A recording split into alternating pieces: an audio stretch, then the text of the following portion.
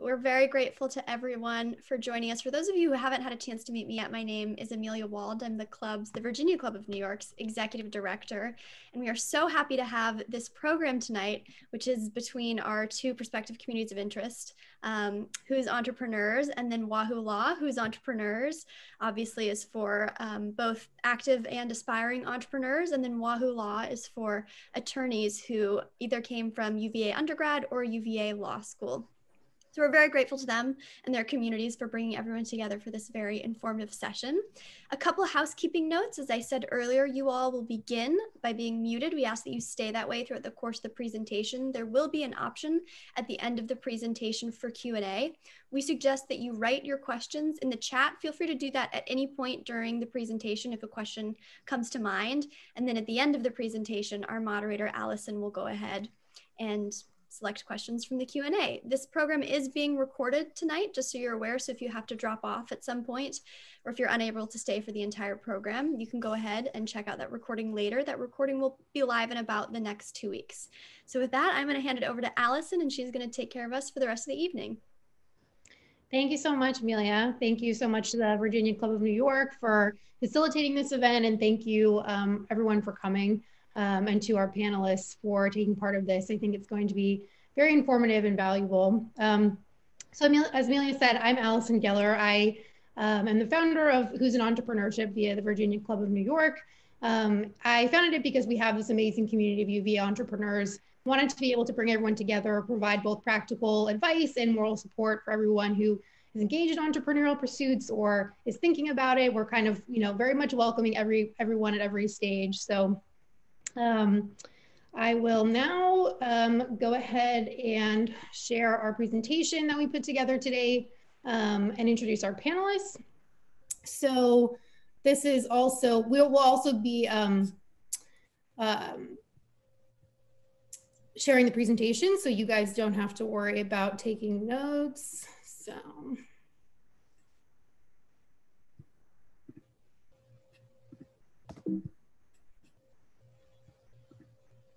All right, does everyone see this on their screen? Yes. Okay, perfect.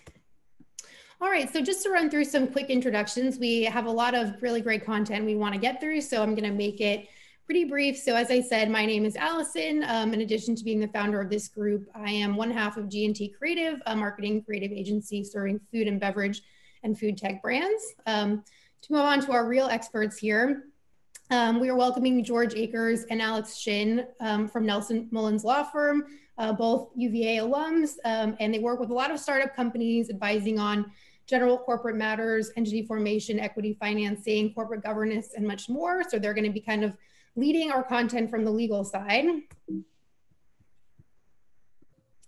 We have Rich Boone, who is a lawyer by day, entrepreneur by night. Um, he is a partner at Wilson Elser here in New York. He is also um, co-founder of a private equity firm. He's the co-founder of two independent vending and food service startups. So he's kind of repping both sides of the house. And then finally, we are welcoming Chad Razdan, who is our, um, our pure entrepreneur perspective. He's got a lot of great stories to share kind of from the trenches. He is the co-founder and CEO of Care+Wear, a company that designs innovative healthwear that brings humanity back into healthcare. So thank you everyone uh, so much for joining. So we're going to move uh, through our content um, fairly swiftly, but as Amelia said, please do take the opportunity to ask questions. You can ask them via the chat box. Um, if you have questions along the way, we'll do our best to answer them, and hopefully we'll have a little bit of time at the end um, where you can raise your hand and, and ask your question verbally. Um, so keep in mind, uh, all these topics could we could go into a lot more detail about all of them. They could kind of each be their own hour. Um, so this is just kind of think of this as a general overview. But we do have the advantage of this this fabulous brain trust here tonight. So so don't be shy about asking your more specific questions as well. Um, all right, so we're gonna go ahead and get started. So the first thing that we wanna talk about is entity choice. So when I'm starting a company, what kind of structure should I use? What should I be? How do I determine the pros and cons? Alex, would you like to start? You're muted, Alex. Oh, Alex, we can't hear you. Can can everyone hear me now? Yes. Yeah, George is muted as well for future. Yeah, sorry. Yeah, okay. I was trying sorry to tell him to unmute himself while I was muted. I had a very Zoom moment there. Again, thank you um, for everyone for being here, and thank you, Allison, for your introduction. Um, thrilled to be here. Thrilled to be sharing our thoughts and experience. Um, just to start us off, as uh, as Allison just said, um, entity choice um, is obviously what we're going to talk about. Um, there are a lot of a lot of different types of business forms that you can start your business with, um, but probably the two most common forms that we see are LLCs or, or the limited liability companies or um, um, and corporations. Um, let's talk a little bit about LLCs here. Probably one of the one of the very key benefits of starting your business as an LLC is that you can limit your liability uh, of debts arising from acts or omissions of business to the assets of the business, as opposed to having um, any liability flow through to you as an individual uh, if something happens, um, you know, in, in the course of operating your business. Um, so that's probably one of the very, very like um, key aspects that should be on top of your mind starting a business. Um, the, the second thing that's also very much uh, important is that um, with an LLC, you have an, you have an option to elect to be taxed as a partnership, which means that um, the business pays actually no taxes. So the tax actually flows through to the like individual owners of the business who pay their business taxes through their own personal tax returns. And this option also allows you to use losses to offset your your gains. Now, um, stepping back to uh, the liability issue, one of the things that you want to keep in mind, though, is that there's this concept called piercing, piercing the corporate veil, which means um, that you know, sure, like if you, if you have an LLC, then um, conceptually you're shielded from personal liability.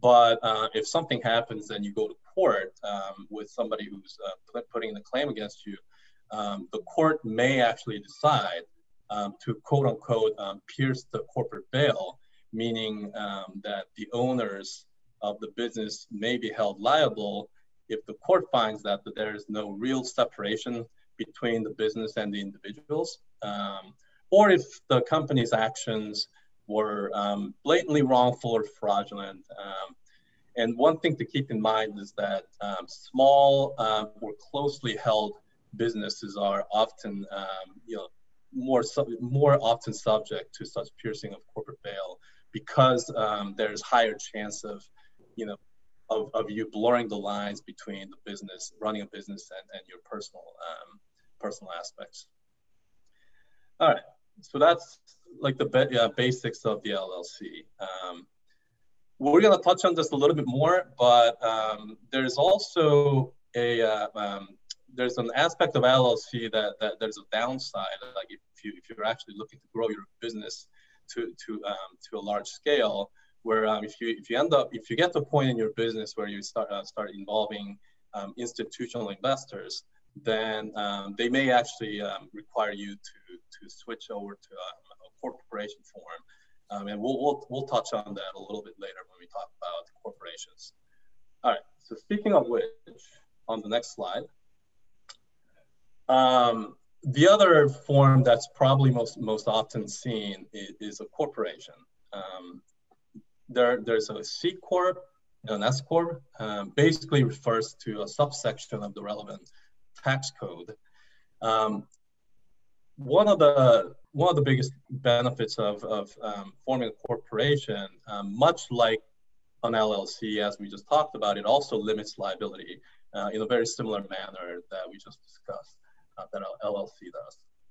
Now, um, the, the one drawback and probably one of the biggest differences between an LLC and a C Corp um, is that a C Corp can be, um, can be subject to double taxation, um, especially if, uh, you know, if, if there's a sale uh, of your company and if the sale, such sale is structured as an asset sale, uh, what, what could happen is um, your, your business is taxed and then um, whatever the whatever the personal gain you you you reap, uh, whatever the windfall that ends up with you personally, uh, you can also get taxed on that um, on the personal side. So that's one of the um, differences between a C corp and, a, and an LLC. Now, if you have an S corp, S corp also limits liability in a similar manner, uh, but uh, S corp actually allows you to pass through taxation just like an LLC does. Uh, but the reason that an S corp is relatively pretty rare is because there are, are a bunch of other restrictions um, if you form an S corp. Um, some of the examples of these restrictions are um, that you can only have one class of stock.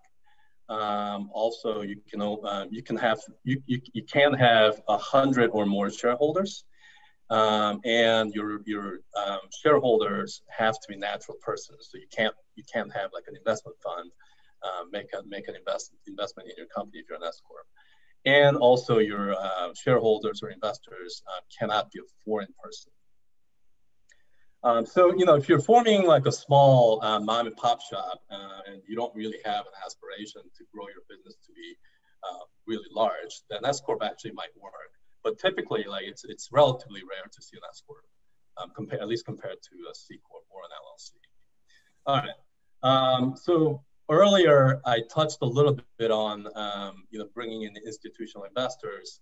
Uh, so when you when you when you get to um, a point in your business, um, you, have grown enough to uh, where you're uh, starting to uh, involve real like venture capital institutional investors. They might require you to be uh, become a, a, Delaware C corp if you're not already. Um, why C corp? A um, couple reasons. There are there are um, certain tax restrictions on tax exempt investors in, in a venture capital fund that uh, may prevent them from investing in LLCs because of the LLC's pass-through taxation structure.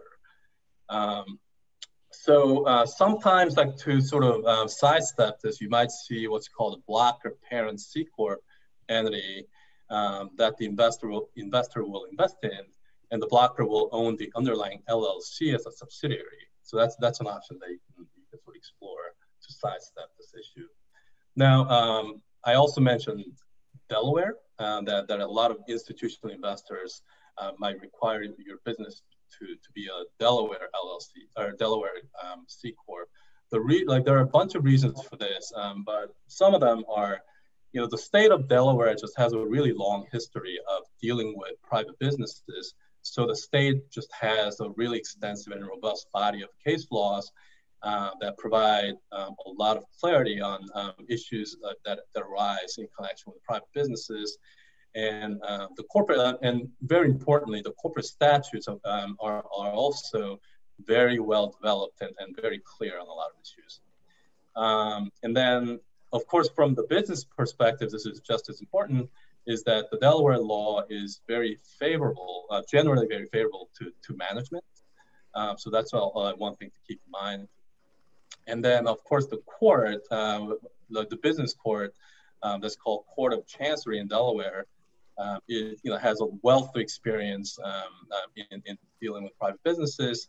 So the courts tend to be a lot more sophisticated and, than the comparable um, courts in other states.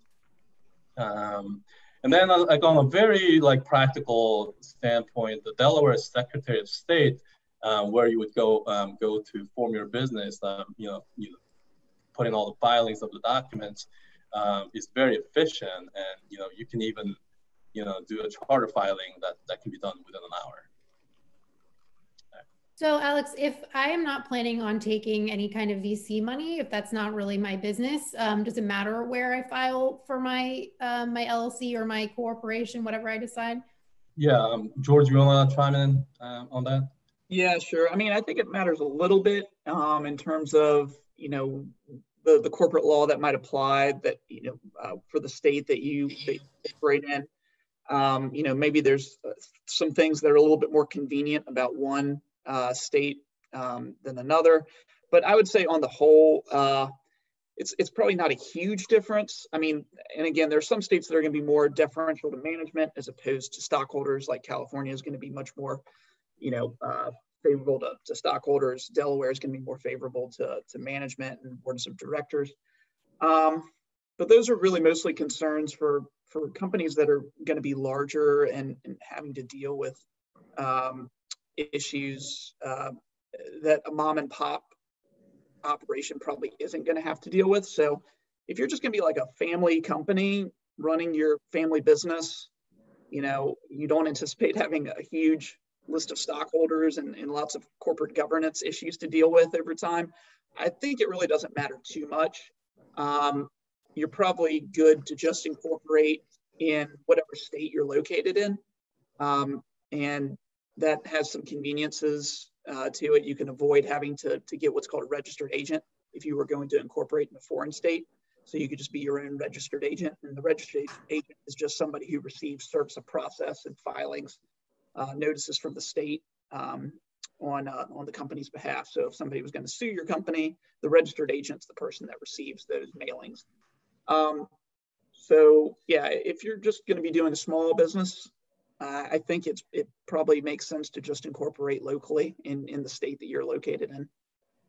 Got yeah, one, one one thing I'd add to that, when I'm not uh, starting companies, I'm I'm a D&O litigator, and so I see, you know, when when the directors' offices of corporations get sued for things, I see a lot of that. And, and one thing that that uh, you might want to look out for when you're choosing your state of incorporation is that and everybody knows that the federal government and the SEC regulates securities offerings, uh, but the states do too, and each has their own set of laws.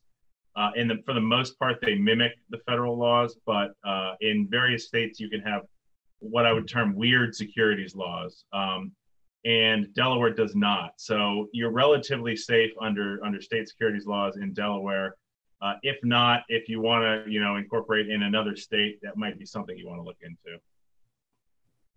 So we have a couple of questions coming in actually about the um, the feasibility of changing either which state you're incorporated in, going from an LLC to a C corp or an S corp, for example, um, or if you are a C corp registered in New Jersey and you want to change to Delaware, if you're looking to raise money, how difficult is this? So I can I can speak to these real quickly. So, and I also, I also noticed there was a question about how often, uh, or some examples of when the corporate veil has been pierced. Yes. Honestly, I I just have never seen it happen. I think it's fairly rare for the corporate veil to actually be pierced, but you know, maybe just in my world and the types of companies I work with, it's it's just not something that's done. But again, I think like Alex mentioned, if it's like a small, you know, small business, maybe like you know i'm the sole shareholder and it's just my personal corporation that's probably more where you're going to start to see maybe some issues there. But a typical company um, it's probably not going to be an issue that that comes up uh, in, in, in most cases.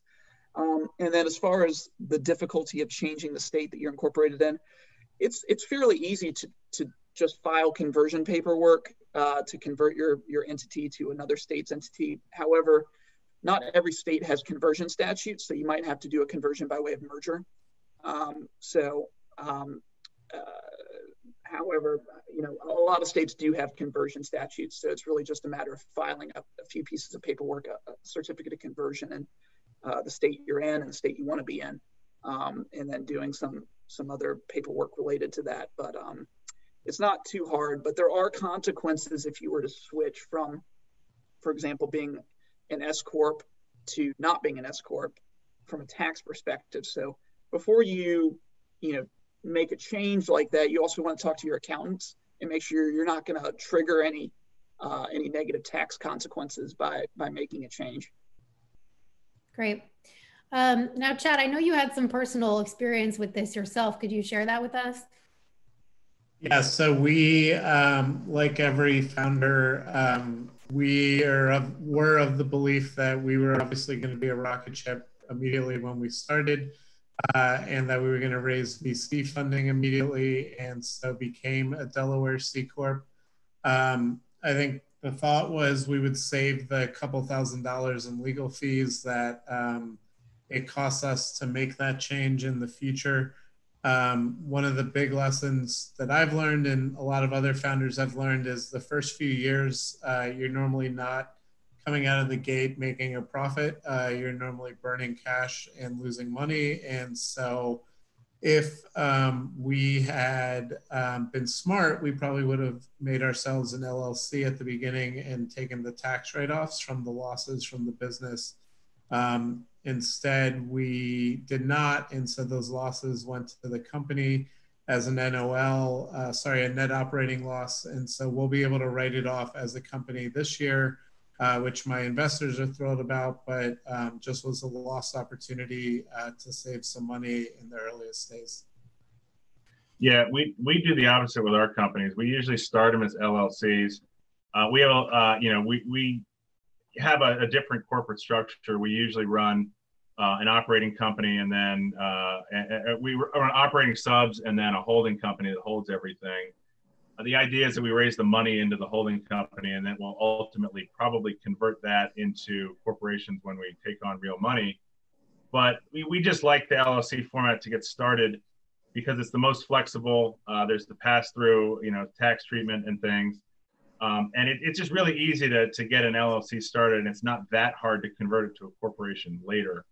Um, so, you know, my, my sort of default is when in doubt, just, you know, get running under an LLC and then, and then when you get all of your legal representation, everything, you know, in place, handle all the corporation stuff. But um, if you know you're going to do some sort of specific task and you know you're going to take on big investors, certainly going Chad's route would be, you know, a good way to go.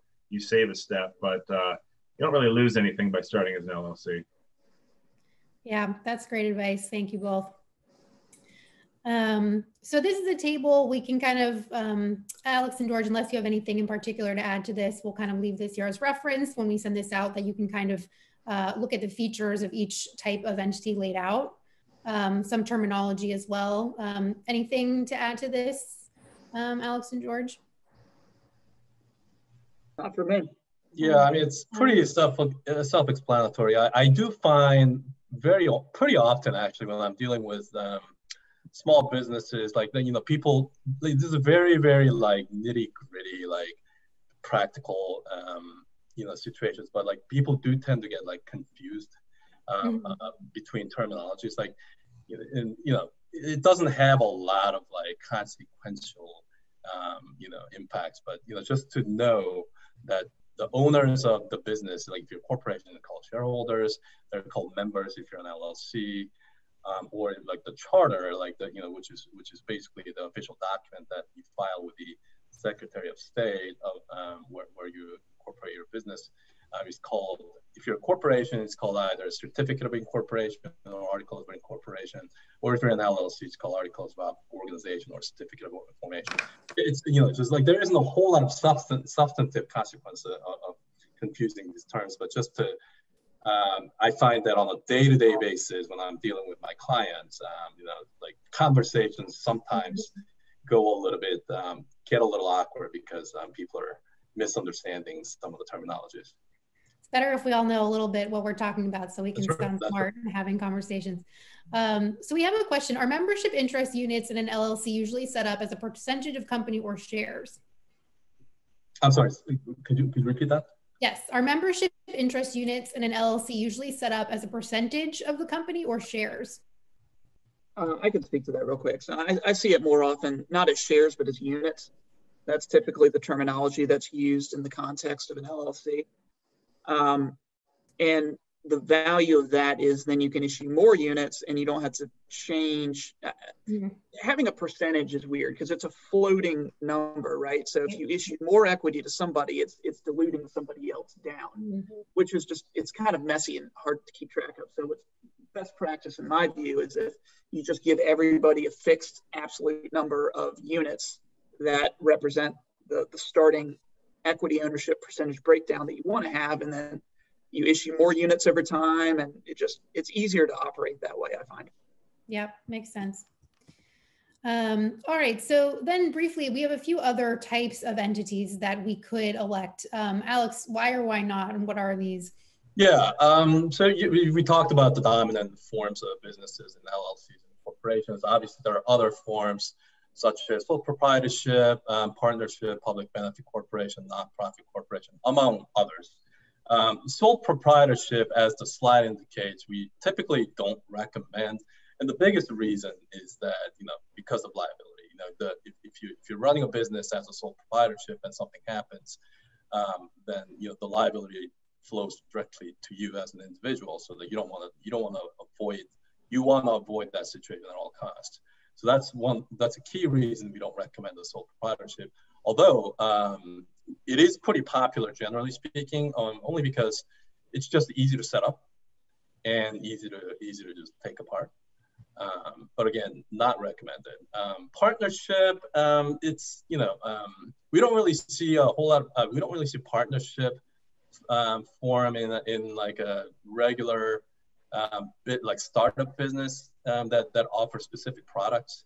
Uh, we we see partnerships more often in setting you know in like investment funds because otherwise like you know for, for like a regular startup business it doesn't make a whole lot of sense to structure that those are a couple of things. Great. Yeah, there, I mean, there's also three different kinds of partnerships. It's just a common law partnership, which is me and Allison decide we have a corporation, we're going to have a company, and we're immediately a partnership. Uh, it's just like having a sole proprietorship. We're both completely liable. Actually, we're both totally liable for the for whatever the business does. So if there's a debt that the business owes, they could sue Allison for it, they could sue me for it, or they could sue both of us for it.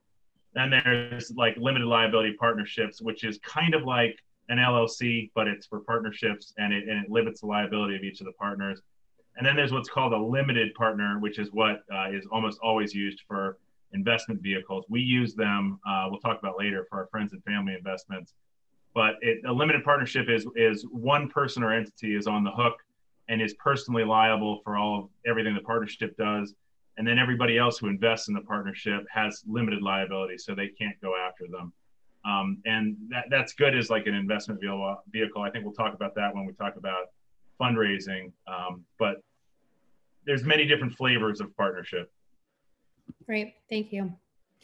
Um, so now moving on um, to talk about protecting intellectual property, which is our next topic. So what does this really mean? Um, when and why does it matter? Alex? Yeah, so um, you know there are obviously a lot of different um, topics you want to you, know, that, that, are important to you. Um, for for for businesses that that are you know particularly tech companies, but but also any other types of businesses that offer tangible products. Um, intellectual property is, is very very important as um, you know, it's, it's some, sometimes like uh, for, for like for example, software tech company, IP might might be your only real asset. Um, but but you know, for for other many different types of businesses that offer like tangible products, like IP is a is it might one of the underlying assets that you have, like the from from which your business really flows. Um, now there are three types of registrable intellectual property um, patent, there's trademark, and there's copyright.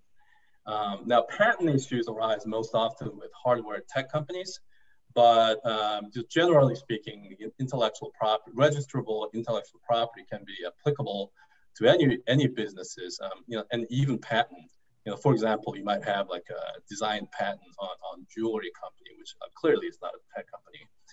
Um, so those are some of the, those are like the basics of the IP. Um, now, uh, when you when you start a company um, that has an IP, one of the first things you want to do, um, especially if you have two or more owners, two or, two or more founders, is that you want to sign an IP assignment agreement um, among the founders um, to to make it you know just make thing make it clear who owns which IP and like whatnot um, to to make you know so that you don't have any disputes later. And you also want to uh, make sure that your employees sign um, an employment agreement that has covenants um, that, you know, covenants for IP assignment um, and also like, you know, related confidentiality, um, non-solicit of employees and even customers, and sometimes even non-compete. And then, and then um, even, even, even beyond that, um, you, you want to make sure any um, and all third-party contractors that you, you end up working with, um, and especially those who, who actually help you help, help your business develop any additional IPs, um, sign an independent contract contractor agreement that has um, similar IP assignment provisions.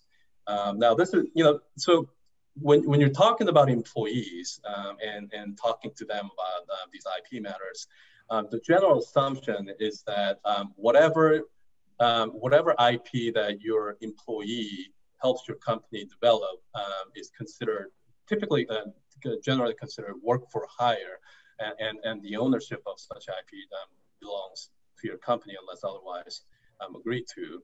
Um, but with with third-party contractors, that's not actually the case. Uh, that's not a default um, setting.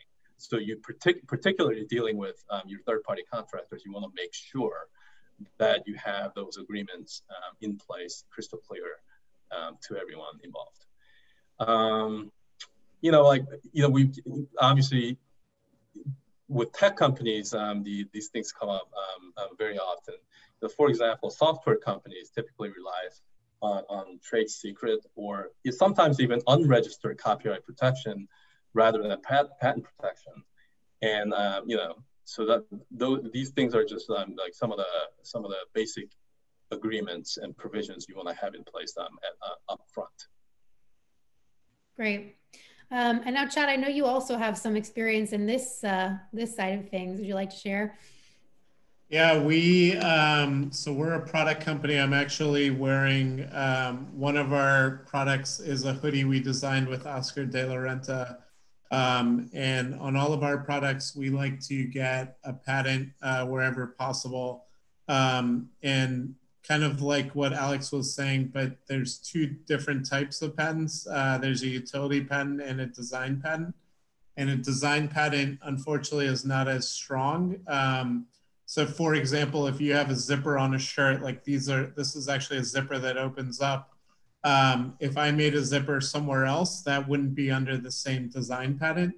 But if I was able to argue uh, that it had a strong utility to have a zipper on a shirt and you could get access to it, and no one else had ever created something like that, I could then get a utility patent, and that would be a lot more protectable. So we have, um, I think, nine or I was trying to count uh, earlier. I think we have like nine or 10 uh, utility patents and then one design patent, um, just trying to protect our IP as much as possible. And the getting people to sign an IP assignment is super important. Um, and later we'll talk about founders and co-founders.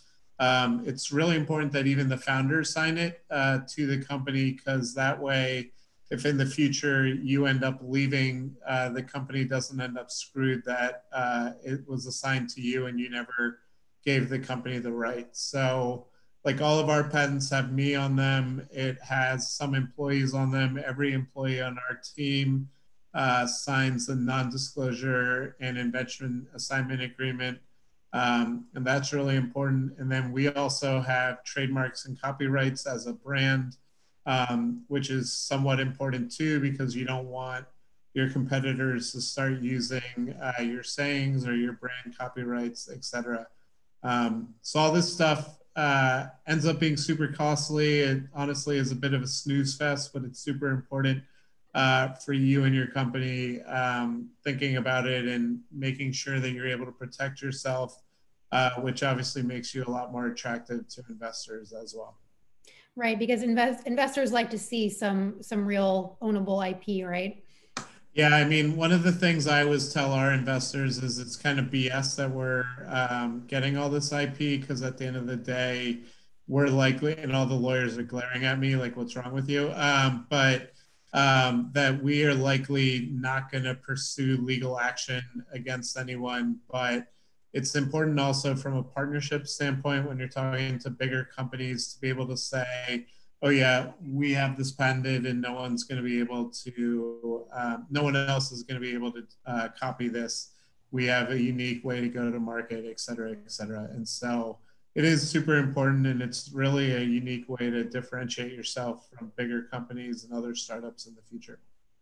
It's, yeah, it's, it's one of the things that, that if you, when you go talk uh, to, you know, traditional VC funds and people like that, it's one of the things that they really look for is, you know, do you is your idea patentable? Do you have a patent? Um, and, and and it might be a hindrance to funding if you haven't patented what you're doing. It depends on what kind of company you are. I mean, we we have traditional products companies that like our, our our biggest IP worry is probably getting our trademarks registered and things like that. We're not doing anything novel, but we work with a tech company that you know has both you know process and design patents. Um, that are super important to them, and that's the first thing that, that everybody looks for uh, when they're talking about funding. They always ask for it on Shark Tank. So, um, so we've talked about patents, trademarks, copyrights a little bit. Um, Alex, how would you define trade secrets? Actually, I mean, I, George, you want to take on that one? Yeah, I can. I can take this one. Yeah. So it's it's something. It's information that's not generally known to the public. It has economic value by virtue of its being not generally known, and it's something that you've taken reasonable measures to keep private or to keep it secret. So those are kind of the three factors, if you will, that define what a trade secret is. The best example of it, the best known example of a trade secret in the world, is the Coca-Cola recipe it's not a patented piece of intellectual property. It's not publicly known. It's not registered with anybody. It's just locked up in a safe somewhere in a bank, I think in Atlanta, uh, and kept secret as a trade secret. And that's that's what it is. A lot of companies rely on uh, just trade secret, um, at trade secrets as as their as their intellectual property that uh, you know that drives a lot of value for the business. So that's um, that's another aspect of intellectual property. And the great thing about it is it, it has indefinite shelf life. You know, a patent will expire, mm-hmm. uh, you know, and eventually, you know, I think a copyright right does does run out and something falls into the public domain. But a trade secret is forever, so long as you keep it secret. Um, and so, uh, you know, and there's there's remedial action that you can take if somebody misappropriates a trade secret. So there's some protection around it. Um, and a lot of companies rely on that. And I would say if you're a software company out there, you're probably relying more so on basically unregistered copyright protection on your software code, and I guess maybe treating it like a, a trade secret as well. Um, and I, I see software companies more so rely on those aspects of IP protection than, let's say, filing for a patent, which is very expensive, time consuming, and you know it, it just ultimately doesn't make a lot of sense for a software company. Um, so, yeah, makes sense. Um, so I see a couple more questions are coming in. Um, I'm going to save those to the end just so we can um, kind of move on with um, some of the other things that we wanted to cover. But thank you for your questions. Keep them coming. Um, so the next thing that we wanted to talk about was co-founder relationships. So everything's always really rosy and everyone's real optimistic at the beginning but that you know everyone thinks they're the exception and they're all going to be fine right? It's like it's like getting married doesn't always work out that way. So what are things that we we should really know going into a partnership? Yeah so um, when you're starting a business with um, two or more um, founders um, like, like allison just pointed out like you know initially you might everything's peachy and rosy and everyone's in love but you know things have a way of sort of getting sidetracked. Uh, one of the one of the common things that we recommend our clients um, at the outset of starting business um, to to to uh, put in place is to put in a vesting agreement. Um, you know, also um, through through a document um, known as stock restriction agreements um, to ensure that each founder really earns their equity by sticking around and contributing uh, towards growth, growth of the business. Uh, in other words, um, you know, the founders, uh, what, you know, so, so if you have this stock restriction agreement, uh, what would happen, like your purpose of having this agreement is, um, you know, the, the founders would lose their equity if they leave the company early, and the sooner they leave, the more they will lose. Um, the typical um, vesting um, structure is, is four years with one year so-called cliff. What that means is, um, you know, your, your intended equity ownership, like the entire uh, entirety of your equity ownership uh, will vest in four years. But, um, you know, initially you would, you know, it would, it would take a one year um, until 25% of your um, intended equity ownership vests. And then after that one year, um, you, you structure it so that um, your, your ownership start vesting, vesting in equal monthly increments through the end of the four years. So that's a very common way to set up this vesting structure. Yeah, and one uh, thing I should mention, Alex, if you want me to go ahead and jump in here yeah, on the 83B. So one, there's a tax thing I need to mention in uh, entering into a vesting arrangement. So uh, you may have heard of something called an 83B tax election. This is a, an election that you file with the IRS. Uh, it has to be done within 30 days of you getting your stock that is subject to the forfeiture of uh, a vesting arrangement. And basically, what this election is telling the IRS is it's telling the IRS, I want to be taxed today on the full value of my equity at today's value, which in many cases, or most cases, when you're just starting a business, the value of your equity is zero. So the tax, uh, you know, the taxable value of your of your of your stock is is is nothing. So obviously, you want to be taxed on the value today. If you don't make that election, here's the problem that happens. Every time that there is a vesting event that occurs, so one year out, let's say you guys hit it out of the park with the business, and by the by the time um, you know you're a year into this business, the business is worth ten million dollars or something. Um, you would be taxed uh, at that one year mark on the value of the business at that time, on the portion of your equity that is vesting at that time. So if 25% of your equity vests a year out and the business is worth $10 million at that point, guess what? You now have a tax bill for uh, for the value of that 25% of that equity that vested at that time. So big nightmare. I mean, it's it's essentially like phantom in- income. Like you know, you didn't get any cash, but now you have a big tax bill uh, that you, you, didn't get any cash to pay for. So uh, it, it, it's a major major issue in startup companies, and it's critical that uh, people talk to their accountants because I can't actually give tax advice. I'm, I'm a lawyer, so I tell my clients to talk to your accountant, consult them about whether to make this 83B election, and it's almost always going to make sense to do it. Uh, but it's critical not to miss it. It has to be filed within 30 days. If you don't make that deadline, it's really not easy to fix. And it creates a lot of problems. And investors care a lot about making sure that people made those filings on time uh, because they don't want, even though it's a personal tax problem for that person, a founder's personal tax problems can become the company's tax problems if they if they are essentially have bankrupted themselves by you know uh, incurring these enormous tax bills through this this not making this filing. Very good to know. Yeah, the 80 the 83B election can become problematic even down the road. I mean, once you're if you're starting and your company's not worth anything, you make the 83B election and your company is worth nothing, so you pay taxes on nothing right now. That's awesome, right?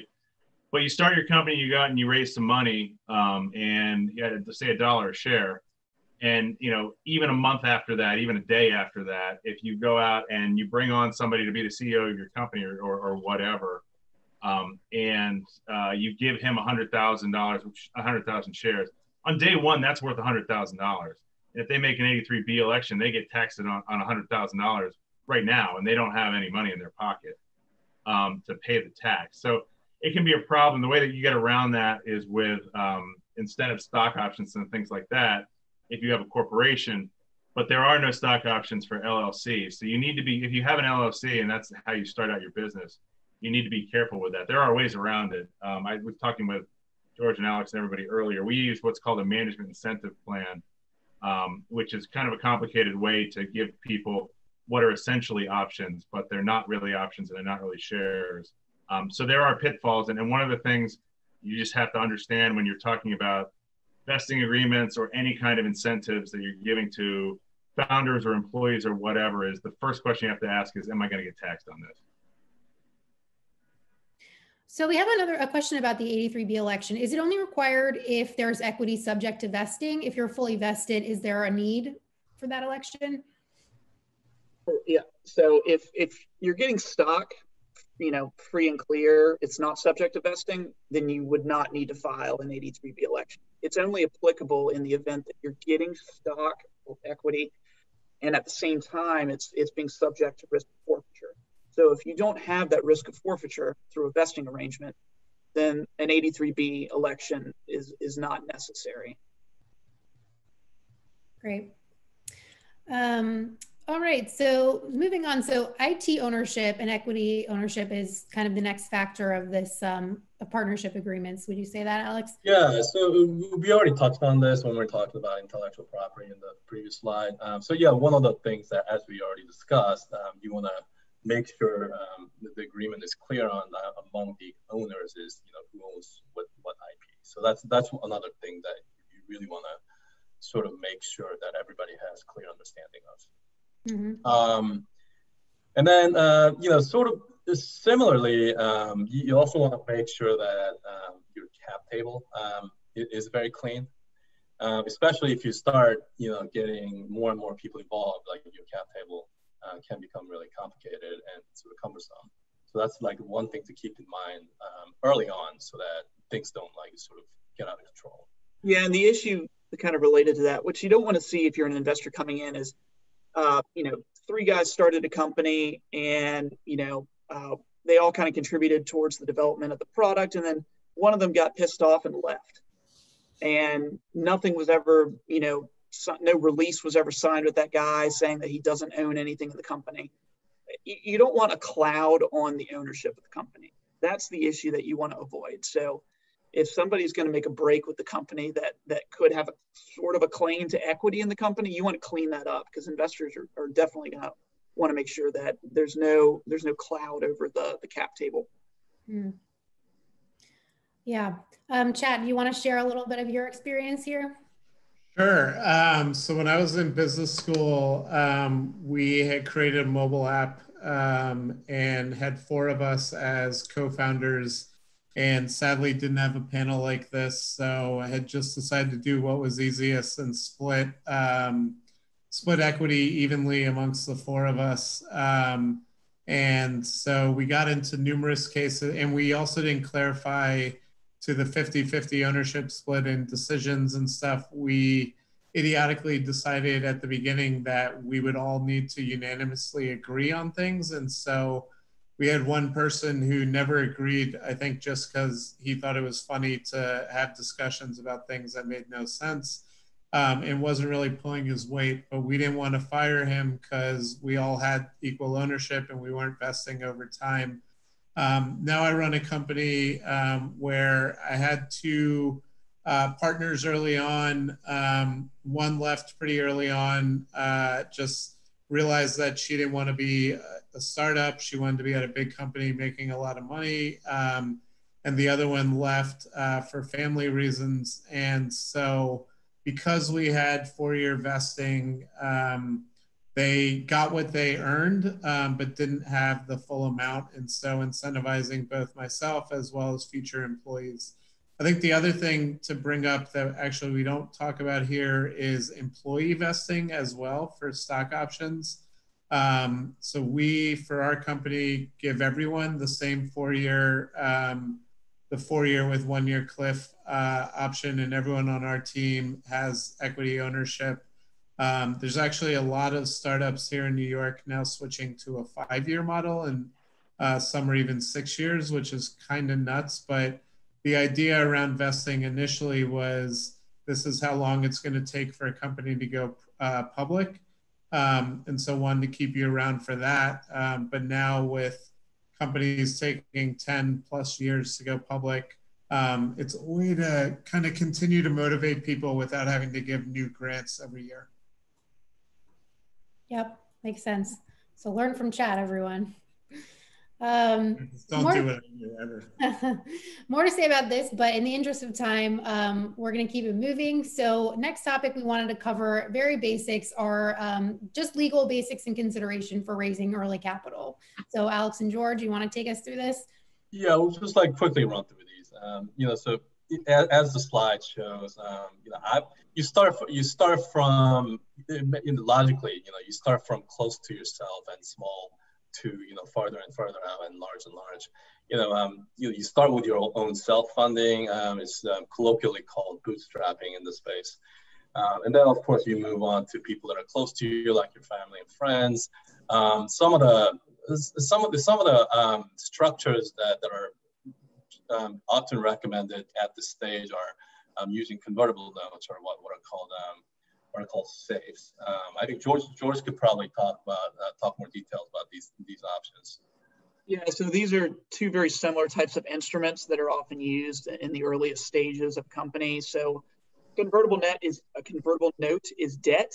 Uh, it's an IOU. So the company takes money from somebody. They're saying, I owe you this amount. But what it's saying is that it's not just regular debt, it's debt that will convert into equity at the next equity financing. So this is money to get you started. And the idea is when you go to raise a much larger round from an institutional investor in an actual bona fide equity round, this note will convert at that time into equity, but it converts at a discount to the price in that future round to, to account for the fact that this person's getting in earlier at a lower valuation. A safe is essentially the exact same thing, except it's not debt. It doesn't have an interest rate and it doesn't have a maturity date but it's the same in every other respect. It's an instrument that was created by Y Combinator, which is an incubator or accelerator out on the West Coast um, a few years ago, and it's just a popular instrument um, uh, to use. It's it's like a five-page document. It's just kind of standardized, so a lot of companies just use that um, as a, kind of a quick and dirty way to raise money, um, and it just it's it's preferable for companies at, at the earliest stage because doesn't cost a whole lot to get the legal uh, work done to draw up these documents. It's much, much cheaper. It's really fast and it's easy to do. Um, and it punts on some of the biggest issues like what's the valuation of the company? It doesn't set a valuation on the company today. It might have a valuation cap, which says that the note can't convert at higher valuation than X, but that's kind of forward looking. So anyway, it's it's it's generally what tech companies, which are my types of clients, uh, use at the earliest stage. It might not make sense for like maybe a, a mom and pop shop who doesn't actually ever expect to raise institutional money in an equity financing that would cause these instruments to convert. But um, for any company that does plan on raising money from institutional investors, uh, this is oftentimes the most logical choice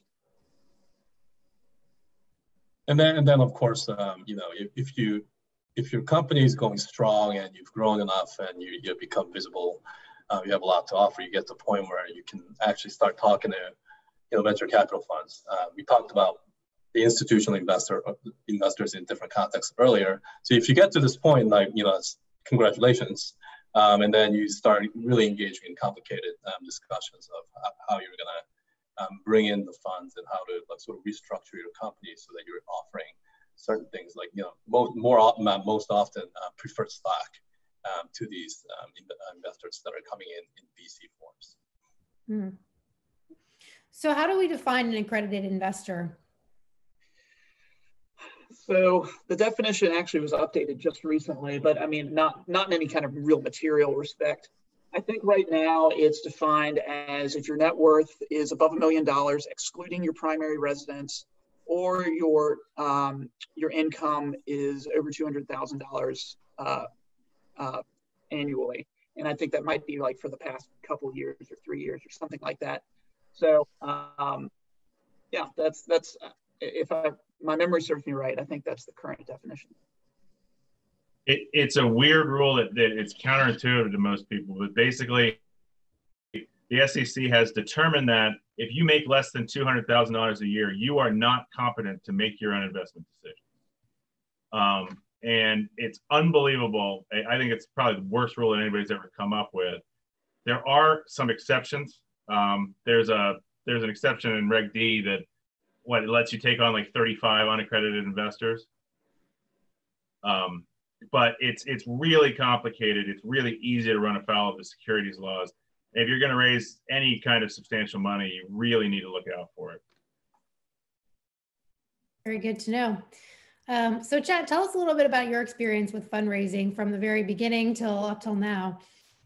Yeah, uh, so we've actually looked at or done all of these. Uh, started out bootstrapping it ourselves uh, put in our own cash, and then raise the friends and family round, um, where basically everyone either knew us directly or was one step removed, and did that as a convertible note, and then raised an angel round um, led by, and that's where it's people with money that don't necessarily know you.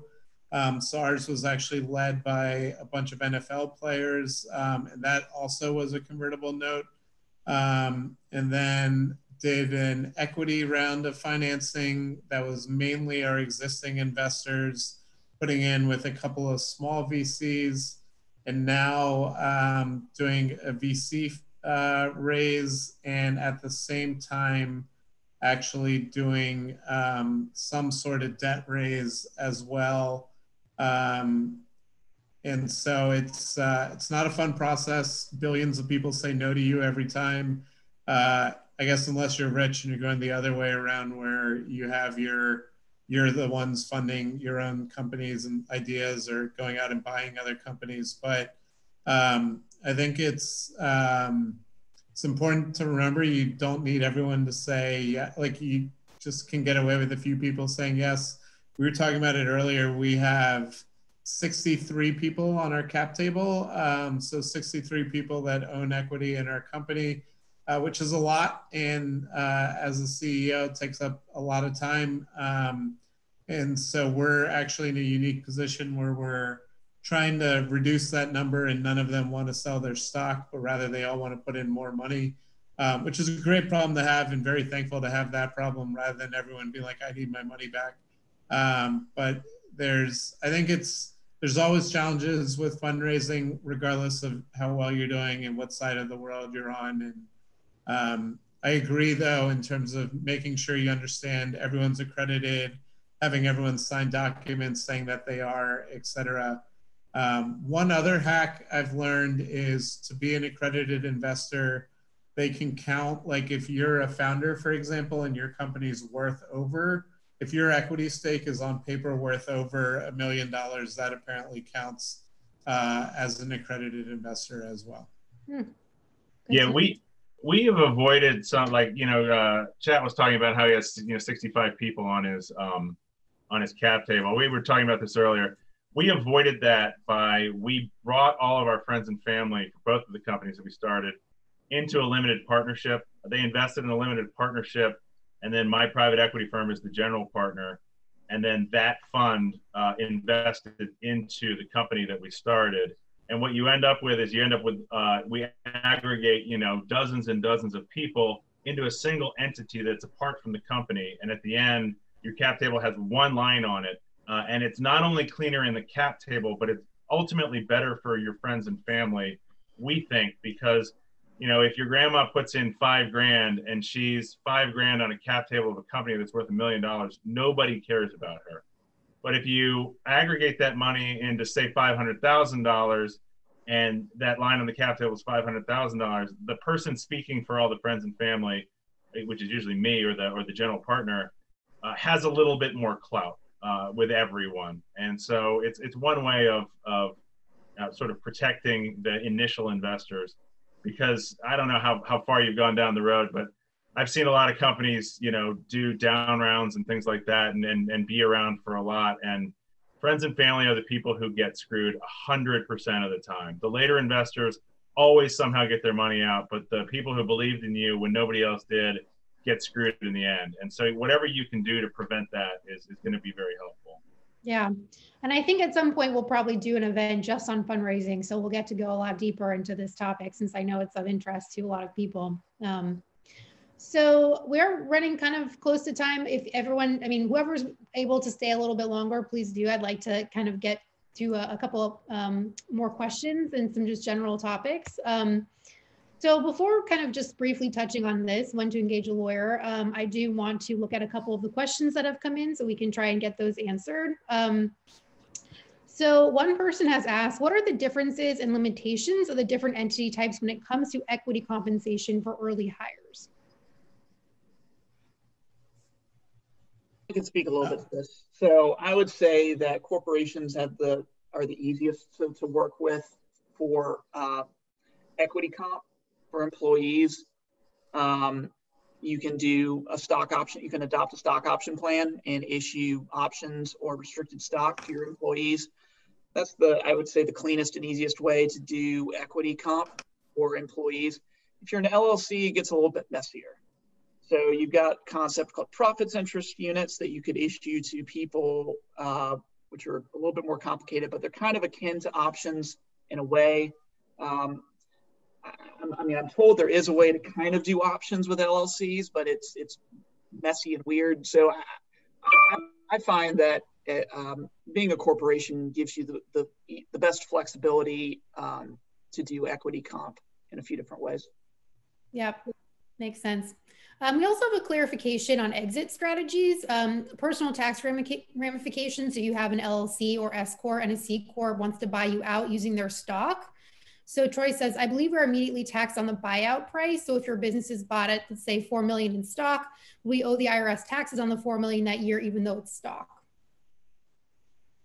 Um, a complicated so, question, but it's uh, in the yeah, chat box from Troy if you'd like and to. Very specific.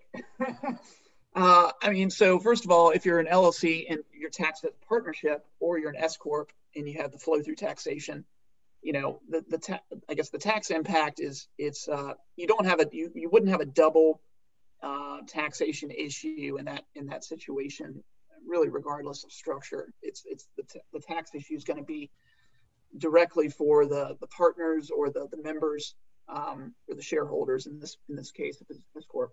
Um, if you're getting all stock for your equity, I mean, so that's one thing that's not clarified in the question is they're buying you out, but what what are they buying? Are they buying the equity in the company? Are they buying your assets?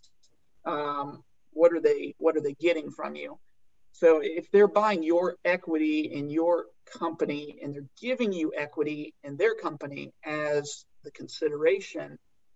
I have to think about it, but I mean, my initial impression is I think that actually might be might be a tax-free exchange because you, are essentially if your if your business is worth four million dollars today, that's the value of your equity, and you're giving that four million dollars of equity to them, and they're giving you four million dollars of their stock.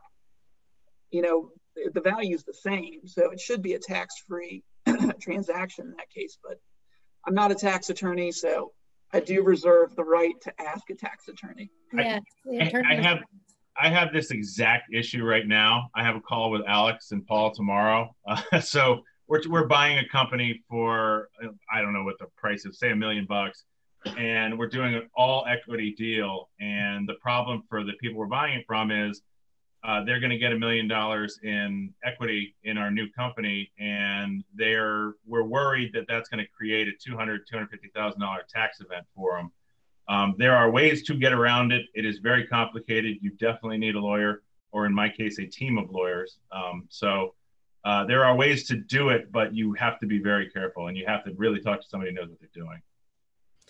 Good answer. Um, now we have a, a, question that also came in about trade secrets. What do companies typically keep as proof in case a trade secret gets leaked and they need to take legal action? That's a very subjective um, litigation. We're getting to litigation territory here. I mean, I, I know how these cases play out. The, the, cases play out by emails. It's almost always emails. There you go. Yeah. You can't prove that something was your your trade secret necessarily. You can just prove that somebody stole it, and uh, and you prove it by you get all their emails and people are so stupid they talk about how they're stealing the trade secrets and they share them and they send documents that have the old company letterhead on it and things like that and you just catch them that happened with the uber employee that went to waymo or the other way around i think right yep mm. Well, so now actually we're sort of on this topic about engaging a lawyer, or can I do it myself? So, uh, what would your answer to this be, Alex? I mean, I, I think I'm a little biased, but um, you know, obviously the earlier the better. And when, when you're setting up a business, I, I guess like ultimately it, it may depend on um, you know what your vision for your company is. Uh, if you have any any level of aspirations to grow your company to a, to an approachable size, um, you know, there, there are a lot of thoughts that you might want to um, put into the, the beginning, the company, so that not only are you setting up your company correctly and properly, but you, you also allow for a lot of flexibility. And, and to do that, uh, you really have to have like proper documentation in place, like in the beginning. Um, I cannot tell you how many times and how often uh, we have just you know, clients coming, um, knocking on our door and um, asking to fix problems that, that basically involve um, having to backtrack on um, the structure of the business and like the disputes that are, uh, arise from having, you know, like the founder disputes because like documentation wasn't done properly, what, what have you. Like there are like slew of reasons why um, things might go sideways. Um, but bottom line is, and this this by probably this might actually speak more directly to to people who are thinking about starting a business is I, I, I find that almost invariably true that um, investing a little bit on the front end actually ends up saving you a lot of money on the back end. That's just like, you know, the front end is like deal deal lawyers like myself and George. Um, back end um, is like litigation lawyers like like Rich. Um, you don't want to do both is, is basically my point. Um, you know, you might end up having to litigate for other reasons anyway, but if you, you, you obviously want to do everything in your power to set yourself up so that um, you, are preventing um, things going things going sideways as much as you can. And um, I think one of the best ways to do this is to, to engage a lawyer on, on the front end um, and then just kind of work, you know, bounce ideas and work through early problems and whatnot. So we want to see people like Alex and George and avoid seeing people like Rich is the yeah, I mean, it's it's you know obviously Alex is going to say you need to hire a lawyer immediately because he he's one of the lawyers you would hire, and Alex and George. But but I am a lawyer, and and Alex is my lawyer, and we hired them very very early on because you know I can fake my way through it up to a point, uh, and, but once you start getting any level of complexity, you need somebody who really knows what they're talking about, really knows what they're doing and that is going to be uh, uh, a specialized person. Uh, and it might be a team of specialized people. You might need a tax person. You might need somebody who forms corporations. You, you know, you might need four or five different people.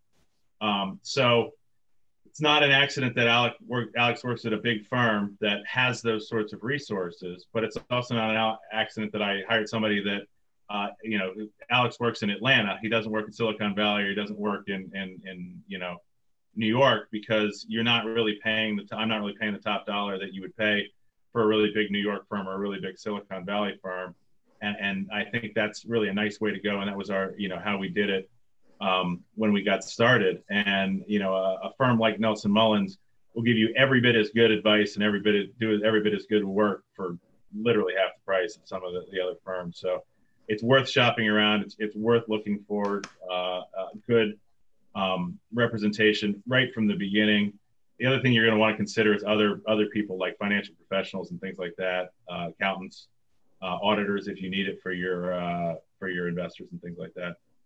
Yeah, so somebody just raised a question, which or a comment in the comment box I thought is important to reiterate. The person said it's important to engage in an attorney who understands startups. I strongly agree. so it is kind of a niche area, and um, and you don't want to engage i would say just any general practitioner because there's a certain specialized knowledge in this area that's that's needed i think to, to work well and make the right best decisions. And also if you engage an attorney that specializes in this area uh, they can help connect you or introduce you to investors in the community that you might want to be introduced to. Um, and also they'll have an understanding for what's market what's not market in in this uh, in this area. So that's that's all very valuable and important. Yeah. So and Sean actually raised an interesting question. What's the best way to hire a lawyer? How do you know if a lawyer is good?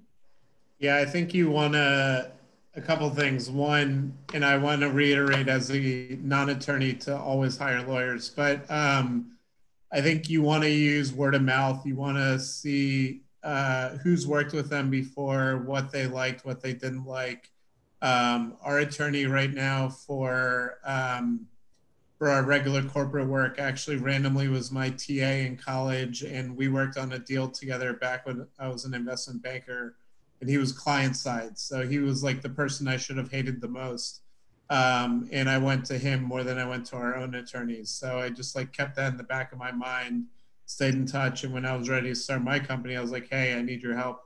Um, but I, I think it's definitely important to look at that. Look at um, what Rich is saying, like just reputation. It's really easy to find people's reputation, especially lawyers.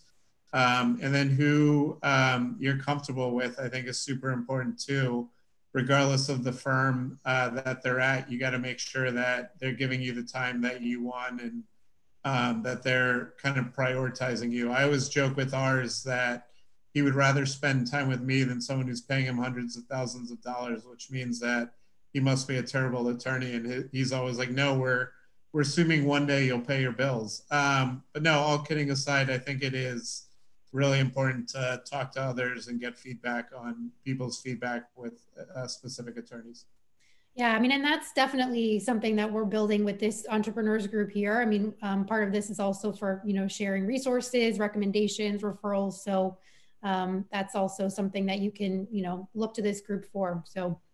Um, so we do want to wrap it up. Um, quick comment about Cooley Go. Um, what would you like to, to tell people about Cooley Go, guys?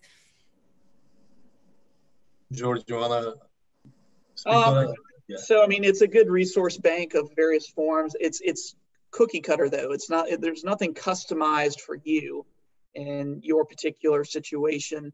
I mean, it's it's a fairly helpful tool to generate some documents, but it's honestly, I wouldn't just rely on that. I would still engage an attorney who can speak to your situation and give you specialized legal advice. I mean, there's state law issues that need to be addressed depending on what state you're in that you know Cooley Go just isn't gonna take into account. So still one, one, one, one thing I can say um, is um, Cooley Go, and there, there's some other similar um, sites that that can generate like these legal documents. But well, one thing I, I, I will say that I, that actually is helpful um, if you go into a website like Cooley Go is um, it's it's a good learning resource. Mm-hmm you can just go in there, just like you know, uh, click around, read through whatever they got on their website, right. and just kind of gain some like very baseline um, uh, knowledge. Because um, even if you do hire a lawyer, it, it's always helpful to know more than know less. Obviously, mm-hmm. Right. Going back lawyer, to knowing the vocabulary, having a little bit more personal understanding of things. Yeah, and it, it, it's just it just it's just always helpful to know yeah. more um, and know what you're talking about, or you know um, even if you do have a lawyer. So that's yeah, absolutely. So just to um, conclude real fast, so kind of the five main considerations we talked about. So engaging a lawyer from the beginning, considering liability, tax implications, and investor requirements when deciding on your entity type, establishing clear IP ownership, particularly if you have a tech or a product that you, um, you, you know, is, is your main asset avoiding 50-50 ownership, having all founders sign vesting agreements, and using convertible notes or safes at first for raising money, and making sure you ensure investors are accredited. So again, we'll be sending out this presentation and then later the recording. So all of this and some notes will be with it. Um, in the meantime, well, thank you so much to all the panelists. This has been extremely valuable. Um, thank you everyone so much for your enthusiastic participation. Um, it's been, I, I certainly learned a lot, so I hope that everyone else did too. Um, if you have any more questions about, we'll be sending a follow-up by email. If you have any more questions about uh, Hoos in, on, in entrepreneurship, if you have feedback about this event, if you're interested in getting more involved, um, you can go ahead and send me an email. Um, but that's that's it. So thank you everyone and best of luck with all your ventures. Thank you. Thank you. Thanks. Thank you. Thanks so much to everyone for joining us tonight. And thank you to our panelists. We really appreciate the time that you took to share with us. So have a good night, everyone. Thanks, everyone. Good night.